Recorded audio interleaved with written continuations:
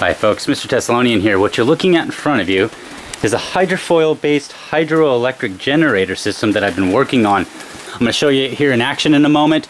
I'm going to change up some of the things about the timing, but I did find a way that you could create a usable timing for this, so I'm going to go ahead and show you that now here today.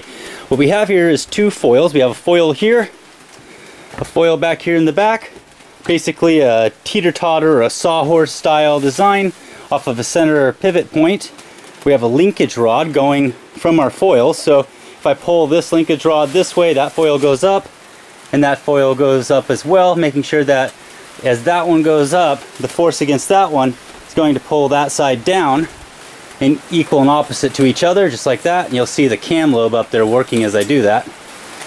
Um, so the way this works basically is we have a cam lobe that's going to be driven off of the main drive wheel. And that cam lobe, I just have some uh, cables hooked up through a series of pulleys. One goes down and around that pulley, back out to this side of our linkage rod. Uh, the other one goes down here and over to this side of the linkage rod.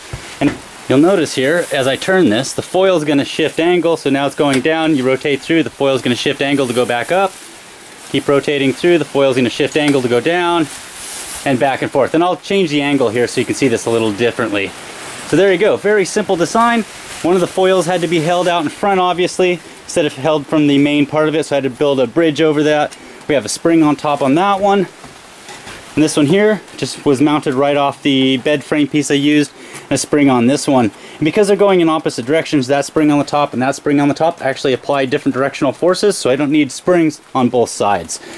I'm a little limited on space here but hopefully you can see this. I got the machine here. What I'm gonna do is go ahead and turn the cam around and let you see just how this thing's gonna actuate. So here we go First of all, you're going to turn it. You can see the blade pitch down when I turn it up.